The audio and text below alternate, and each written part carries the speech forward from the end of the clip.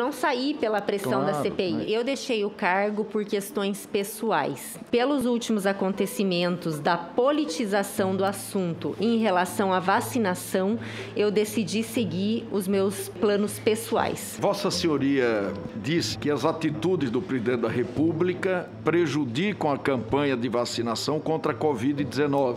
Eu, enquanto coordenadora do programa de vacinação, eu preciso de apoio que seja favorável à fala em relação à vacinação.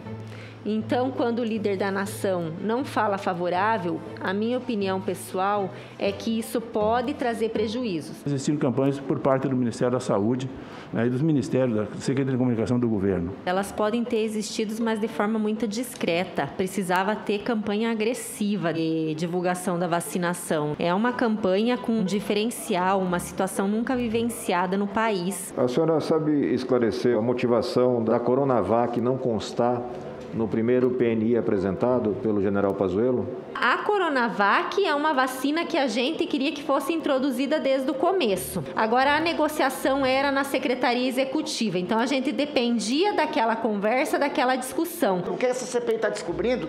Que não é gestão do senhor Eduardo Pazuello. For gestão Pazuello Elcio Franco. Aliás, mais Elcio Franco do que Pazuello. estão colocando na condição de investigado possíveis testemunhas para coagir no seu depoimento. Eu sou uma servidora pública federal. Eu acredito em vacinas.